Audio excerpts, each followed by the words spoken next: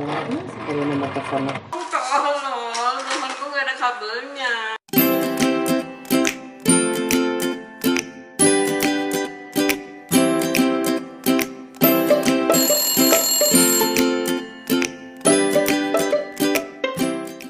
Halo? Selamat siang. bisa bicara dengan eh, aku nama Bisa, siapa bisa. tadi Dian Bisa, bisa. Bisa, Eh. Bisa diatur, bisa diatur. di mana Lagi di rumah lah, Lu kan mana? rumah. Lah ini kan telepon bisa dibawa-bawa. Eh, enggak, Kak, di rumah. Berarti pertanyaan tolol banget ya kalau nelfonnya ke nelfon ini, terus nanya lu di mana gitu ya. Iya ya, agak tolol sih. iya gue sering Yang tolol siapa? pertanyaan. Yang tolol siapa? Sama kayak orang lagi ngantre depan bioskop, terus tanya ngapain bro gitu. Antrean udah panjang tolol ya. menurut lo gue nyuci mobil iya kan Itu itu pertanyaan basa-basi biasanya. Iya emang sih. Jadi lu di rumah nih. Mm-mm. Eh, gua habis ngerjain itu tahu nggak sih gara-gara si ponakan-ponakan gue lagi apa work homeschool so, home home School from School home. Nah, school from home ternyata PMP udah nggak ada ya PPKN, Kak. Sekarang udah nggak PPKN, apa ya? Apa ya, Put ya? Budi pekerti. oh, gue juga nggak tahu PMP gue taunya PMP tuh baca di buku-buku sejarah dulu tuh namanya PMP gue Sekarang- ngalaminnya tuh PPKM Oh, enggak deh. Itu mah agama, pendidikan agama dan budi pekerti sekarang udah jadi satu. oh PPKN dulu gue taunya PPKN nggak tahu gue PMP itu yang tua-tua tahu PMP gue nggak. Oh, eh, eh, iya. gue taunya PMP itu orkes itu loh. oh PRP PRP PRP Om Om PMR garing anjir bajingan. Garing ngomong PMR Hai, Eh, Usaha boleh dong. dulu, tunggu dulu, tunggu dulu. Gue tuh nggak ngerti PR-nya Abriel dan si itu. eh gila ya. Anak-anak sekarang itu ya ini apa nih kalau dulu kan kita masih at least at least. Lo tau nama presiden nama wakil nama menteri lah. Ya nggak sih ibu kota ibu kota walaupun lo nggak tahu bedanya Makassar sama ujung pandang ya. Terus eh, lo nggak tahu, adik gue nggak tahu Sunda di mana, tapi minimal tuh kita nasionalisme kita masih nasionalisme dalam bentuk data ya bukan nasionalisme semua orang harus turun ke medan perang. Paling nggak hal-hal tentang negara kita masih tahu. Menurut tuh anak sekarang apal PM apal PMP lagi. Apa itu yang gambar di punggung gue? Pancasila nggak? Kuping gue gatel pakai telepon ini. Kayaknya lu apa Tanya Satu. apa? Eh, ini telepon bisa buat browse gue baca ya satu ketuhanan yang maha esa dua kemanusiaan yang adil dan beradab Tuh, bisa di scroll ke atas nih tiga Persatuan Indonesia. Betul. Empat. Empat. Nah, ayo lo. Ayo lo. Pokoknya gue tuh kelima keadilan sosial bagi seluruh rakyat Indonesia. Empat. Boy. Apaan? Empatnya di skip. Iya tunggu dulu. Gua Itu aja deh. lima. Tunggu kasih gue kata pertamanya Kerakyatan. kerakyatan Yang adil dan beradab. Eh tunggu dulu. Kerakyatan yang Alah, ini bisa tiga jam nih minum. Jangan tunggu dulu. Tunggu maha esa, dua Oh. kemanusiaan yang adil dan beradab, Yeah. tiga persatuan Indonesia, Hmm. empat lalala, lima keadilan sosial rakyat Indonesia, empatnya adalah kerakyatan. Kata keduanya apa? Yang Ya itu mah bukan kata. Lewat kerakyatan yang dipimpin kerakyatan yang dipimpin. oleh hikmat kebijaksanaan dalam permusyawaratan perwakilan. Eh kayak Udah itu Kerakyatan yang dipimpin dipimpin oleh hikmat itu kebijaksanaan orang Indonesia itu kebanyakan keribetan sih. dalam Keribetan tuh banyakan kata kalimat yang kalimat kagak jelas juga artinya. Itu kan kerakyatan kata-kata yang dahulu dipimpin kerakyatan oleh yang dipimpin oleh hikmat dan kebijaksanaan kebijaksanaan dalam permusyawaratan perwakilan. dalam permusyawaratan perwakilan. Oke. Itu anak sekarang apa nggak ya? Karena gue maaf maaf nih ya. Gue waktu itu ngeliat eh ada gue malah upacara asal untuk pejabat aja kagak hafal juga. Eh jangan sedih, gue pernah nyanyi sama salah satu ya adalah eh, orang, tapi dia tuh sering nyanyi buat istana dan segala macam. Itu lagu nasional juga pada kagak hafal sih. Pejabat juga banyak yang gak hafal. Lu hafal kagak lagu nasional? Apal gua mah. Gua waktu kecil dibeliin kaset sama bokap gua, isinya lagu nasional, terus ada versi karaoke-nya. kaset tuh kayak apa sih gue tak zaman gue SD CD soalnya kaset nanti side A-nya ada lagunya side B-nya karaoke semua kak Asik. Oh yang kalau kusut, kalau kusut pakai pensil lo pulpen diputerin Pakai pulpen diputer-puter. Ini kusut nih kok nggak bisa di rewind gitu. Oh gitu. Emang kaset bisa buat karaoke kan?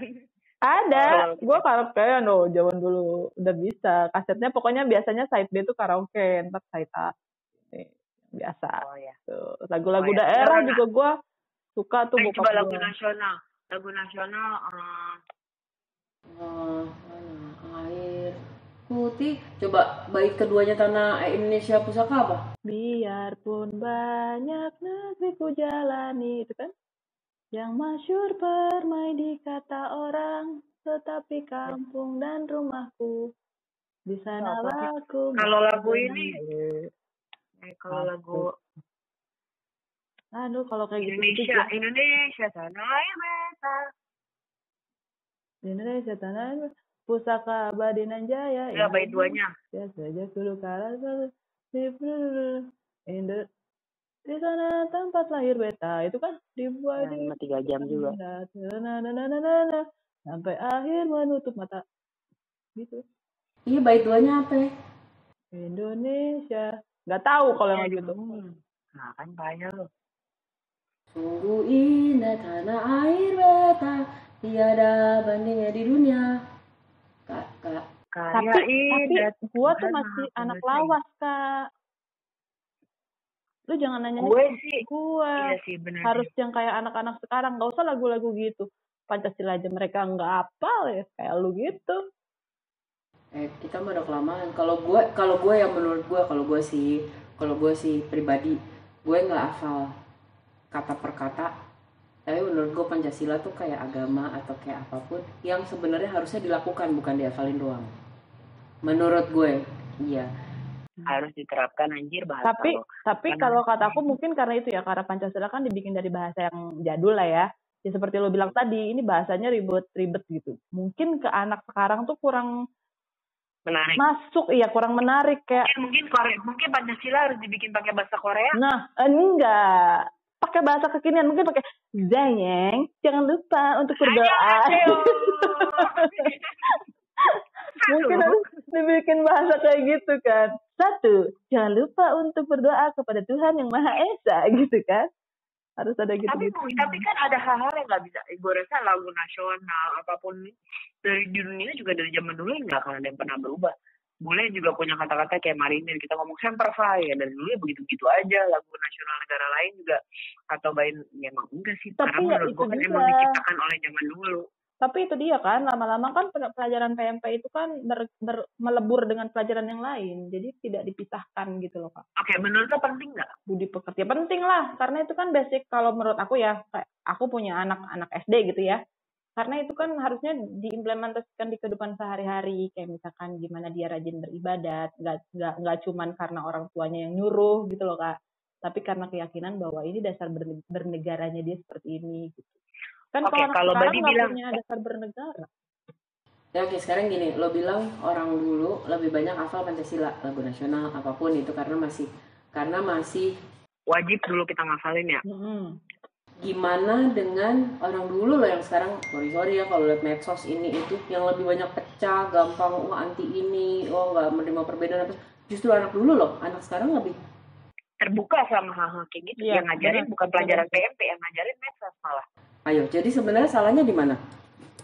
Salahnya kalau ya dia nggak dulu dia nggak ya anak saya nggak asal tapi dia pelaksanaannya. Sementara ya di Amerika sekarang lagi ribut yang Black Lives salahnya Matter. pola pikir old school. Berarti karena pola pikir kita dibentuk bukan oleh pan- pelaj- kita menghafal Pancasila Pancasila kan sebenarnya dasar bernegara kita. Sebagai orang yang nasionalisme ya kita kita harus meyakini dan menjalankan Pancasila kan. Tapi kalau orang dulu itu mereka lebih banyak keras kepala di mana orang tua tuh selalu benar. Lo anak lo sekarang ya kita dulu kalau angkatan kita ya kalau nanya dibilang kurang ajar ya nanya tuh adalah indikasi tidak sopan betul nggak sih? Iya emang iya.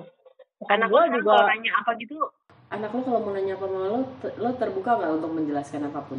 Boleh nggak? Lo pernah pernah pernah melarang dia bertanya sesuatu nggak? Mungkin sesuatu yang belum di umurnya. Nanti aku akan bilangnya lebih kayak "Eh, belum sekarang ya, suatu hari nanti mama yang akan jelasin sama kamu itu apa gitu loh. Daripada dia belajar dari orang, Iya. Dia dia akan akan percaya karena aku bilang belum umurnya. Nanti pas udah dia umurnya aku kasih pengertian gitu. Hmm. Kayak waktu dia Berarti kan- kayak waktu dia TK, dia nanya pacar itu apa. Ya kan gue belum bisa menjelaskan. Ya masa anak TK nanya pacar itu apa? Tapi begitu dia udah SD, udah mulai ngerti temennya, udah mulai suka-sukaan, aku jelasin gitu loh kak. maknya bajingan. Bingung kan jelasin. Enggak, enggak, enggak. Gue nggak paham. Kalau lo bilang Pancasila, penting nggak anak sekarang menghafal Pancasila? Anak sekarang lebih ngerti. Ayo tunggu dulu. Anak sekarang nggak pakai ngafal Pancasila, nggak hafal lagu nasional. Mereka lebih paham Korea dan ini dan apa segala macam gitu ya. Tapi tapi pelaksanaannya mereka lebih laksanain sementara orang yang dulu yang hafal contoh gak usah Indonesia deh kita lagi yang mungkin satu dunia lagi tahu Black Lives Matter di Amerika lagi gitu-gitu ya. Anak mudanya malah bisa mentoleransi perbedaan. Yang putih ngebela yang hitam sampai yang putih turun semua apa segala macam. Lo yang bikin masalah tuh kan justru orang dulunya. Yang lebih percaya yang yang menciptakan lagu eh, lagu nasionalnya yang bilang Amerika is the land of the freedom. Sama aja Indonesia. Orang yang men- lebih menggembar-gemborkan dulu Pancasila itu wajib sampai kita dijemur-jemur kayak orang tolol kan Iya emang kalau lagi upacara tuh kan. Astaga, gue mau pura-pura pingsan sampai gue nggak punya trik lagi gitu. Pingsan, masa gue pingsan lagi? Pingsan gaya apa lagi yang belum gue keluarkan? Ya, Iya, ya bagus juga sih anak sekarang. Tapi maksudnya kalau misalkan bisa dilandasi dengan dua-duanya, akan lebih bagus lagi. Jadi pengetahuan bernegaranya, kan sebenarnya Pancasila itu kan bernegara kan, gitu. Kalau itu kan kalau Black Lives Matter atau itu kan lebih ke solidaritas antar manusia. Tapi kan bernegara, kita mau ngomong Pancasila kan tuh sebenarnya mengajarkan solidaritas, keadilan sosial, agama tuh banyak. Ya sama kan berarti harusnya sih ya begitu Harusnya ya udah apal juga gitu. Harusnya orang-orang yang kayak gitu ya apal juga.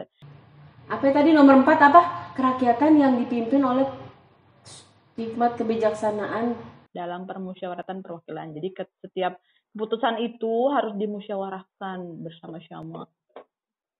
oh antara pemerintah sama pemerintah rakyat mah jarang diajak Rakyatnya nerima-nerima aja. oh iya iya iya. oke oke terus, terus tadi lu mau jelasin apa Lupa gua. Lo mau mau ngetes bocah nggak? Apal Pancasila? anak lo anak lo Anak gua. anak ah. Coba. Hmm. Ini telepon lo ini. kecil ya Ini. Anak gua yang ini nih, apa namanya? Ini telepon ini bisa dipakai buat rame-rame gini. telepon yang ini nih yang gue pencet-pencet ini oh iya ya deh tadi Tapi anak gua bisa angkat telepon nggak ya? eh, anak lu sekolah kagak Halo, Ya mbak, teh ada si Haido nggak? ada. Mana kasihin teh? Halo. Halo. Apa, Ma? Kenapa ma? Hai, Hai do Apa? ini ada tante Mel kamu nih hafal Haido. Pancasila nggak Ma apa? kamu hafal Pancasila nggak Eh, enggak. Apa kan Haido Pancasila? Pancasila. Nah, satu. Ketuhanan yang Maha Esa. Dua. Kemanusiaan yang adil dan beradab. Tiga. Kesatuan Indonesia. Empat. Kerakyatan yang dipimpin oleh hikmat kebijaksanaan dalam permusyawaratan perwakilan. Nah, lima. Lima. Keadilan.